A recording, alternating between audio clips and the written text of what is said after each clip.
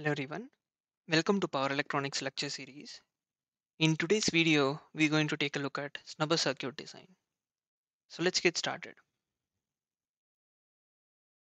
So this circuit diagram of snubber circuit was arrived in lecture number 16 that is protection of SCR. So basically a snubber circuit is used for protection purpose and there we came up with the ideology of why do we need this particular circuit. So that is a very useful video in case you have not watched, please do watch it. But I will give you an overview of what all these components are used for. So an inductor is connected in series to prevent from di by dt, that is sudden change in current. So we know the property of the inductor that it does not allow sudden change of current according to Lenz's law, and that is why it is connected in series. A capacitor is connected in parallel across the SCR for dV by dt protection. So it does not allow sudden change in voltage and that is why we have connected it in parallel. A resistor is connected because once the capacitor has charged to its full value, it has to discharge somewhere, isn't it? So it will be discharging through the resistor R. We have used a diode because if the current is flowing through this path and flowing through this path and the capacitor charging through this path, then obviously we will be reducing the resistive element, the current flowing through the resistor element during charging, isn't it? If suppose there is no diode and the current only flows through this path, there will be I square R losses in the circuit, isn't it? So we don't want unnecessary losses. We want a resistor only during discharge and during charging the current can flow through this path and that is why a diode is used. Now for designing the snubber circuit parameters, what is the requirement? We need to find the value of R, value of C and value of L. That means we need to arrive at a common expression that can be applied for all the numericals that we are going to solve. So at the first place, we will be going with the derivation. So I would suggest you to make a note of this derivation parallelly as I'm doing it. And it will give you an easiest understanding of whatever is being done today. So we will be going with some assumptions initially. So we are assuming that the SCR is in forward blocking mode. That is, it is acting as open circuit at this point in time. And we will be starting off with our derivation. So one more consideration is we are going to consider case 1. So what is case 1 all about? Case 1 is without capacitor that is without CS connected to the circuit.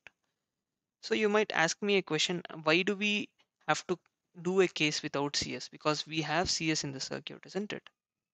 Under transient analysis the capacitor will be acting as short circuit at certain point in time in the circuit. So that is why we need to start off by assuming there is no capacitor that is basically it is acting as short circuit that is what I am meaning by without capacitor CS.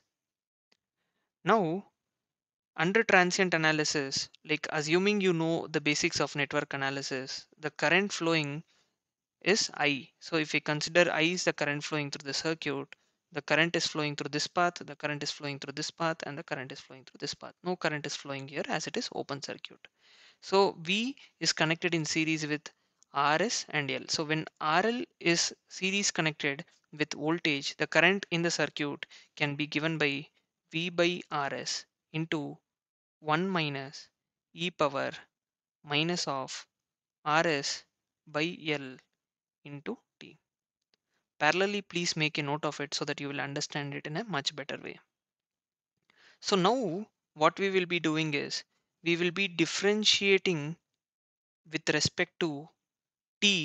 So we will be getting by dt equal to v by rs into 1. 1 is basically a constant. So you'll be getting 0 over here when you differentiate it minus e power of minus rs by l into t into minus rs by l. So we are differentiating it with respect to t in the sense we are retaining this expression and according to chain rule when we differentiate this again minus of rs by l into t so we will be getting into minus rs by l. So once this is done what we will be doing is di by dt is equal to we will further simplify this so rs and rs will get cancelled and you will be left out with v by l into e power minus rs by L into T. So basically minus into minus it will be plus so you are getting a positive sign over here. So V by L into e power minus of Rs by L into T. So from this let us assume that at instant t is equal to 0 so obviously we will get the maximum value. That is why we are considering t is equal to 0 so what do we get? At t is equal to 0 that is di by dt will be equal to v by l into 1 so e power something that is e power 0 will be equal to 1 and 0 multiplied with something is 0 so e power 0 will be equal to 1 and we will be arriving at this expression that is L is equal to V by di by dt rearranging this particular equation. So you will be getting the expression of L which is very very important to solve the problems. So very very important expression for L we have arrived at now we know the current across the resistor V that is the voltage across resistor is being given by V is equal to I into Rs isn't it? So when we are differentiating this with respect to t what will happen dV by dt is equal to di by dt into Rs isn't it? So can we further rewrite this by substituting the value of di by dt that is V by L so what we will be getting we will be getting dv by dt is equal to v by L into Rs isn't it? I've substituted for the value of di by dt in this particular expression. So finally what do we get? We will be get Rs is equal to L by V into dv by dt. Another very important expression for solving the numericals. So from this what have we arrived at we have arrived at the value of L, basically the expression for L and the expression for RS. So once this is done, we need to still find the expression for C, isn't it? So we will be considering it in case 2. So case 2 is considering the capacitor that is with C. So in this case, what we will be doing is when we are considering the capacitance as well, so we will be writing the expression of Kirchhoff's voltage law that is V is equal to I into Rs that is the current flowing through the resistive element Rs plus the current through the inductor is given by or the voltage across the inductor is given by L into di by dt plus the voltage across the capacitor is given by 1 by Cs into integration of I into dt. So this is a very basic formula when R, C and L are connected in series or by applying KVL you will be able to arrive at this equation isn't it?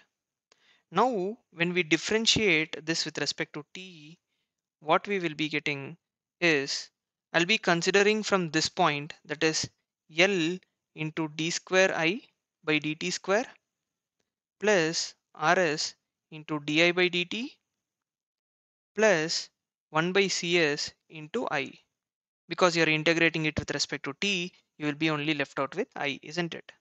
This will be equal to 0 because the voltage is constant and when you're differentiating a constant parameter with respect to t, obviously it will be equal to 0. Now what we will be doing is take Laplace transform on both the sides.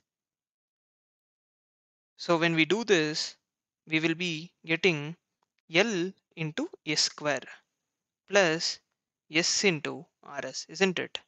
So for d square i by dt square, you will be getting s square and for di by dt, you will be getting s. Plus for 1 by cs, you will be getting cs constant and I will be taking the value of i outside. So we will be getting i of s over here into 0 that is equal to 0.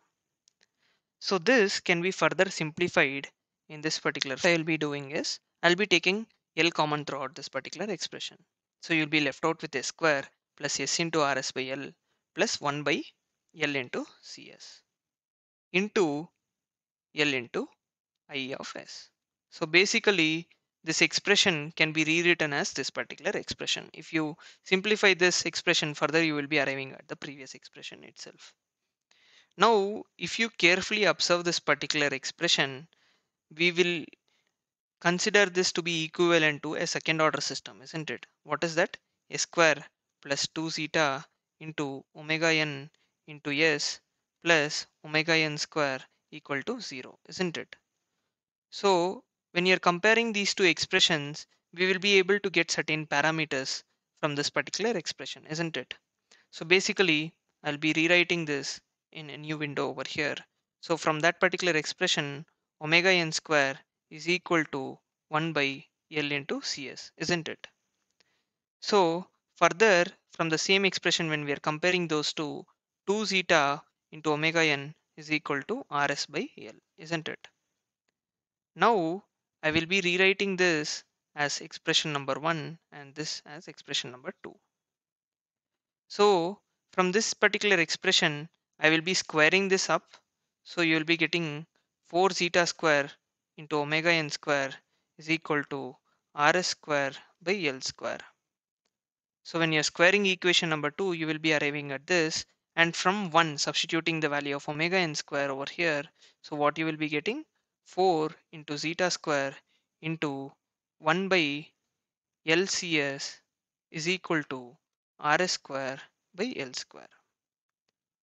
So in this particular equation, you you can cancel the value of L that is there in both the sides, isn't it? So simplifying this, you will be arriving at the value of CS that is 2 zeta by RS whole square into L. So this is another very important expression that is required for solving the problems. So we have found the value of Rs, we have found the value of L, we have found the value of Cs.